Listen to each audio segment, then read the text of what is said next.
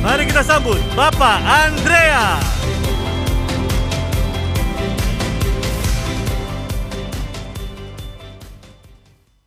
Selamat siang rekan-rekan Dasyat. Uh, diberikan kesempatan yang luar biasa di acara McD 7 ini adalah suatu berkat dan kami percaya uh, yang terbaik untuk kita semua.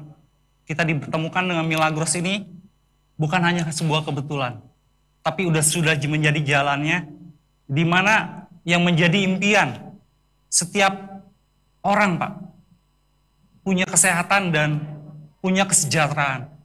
Anda bisa dapatkan di Milagros ini. Dan kami percaya Andalah yang akan berikutnya next tampil di acara McD ini. You are the next. Oke, salam sehat, go director, qualified.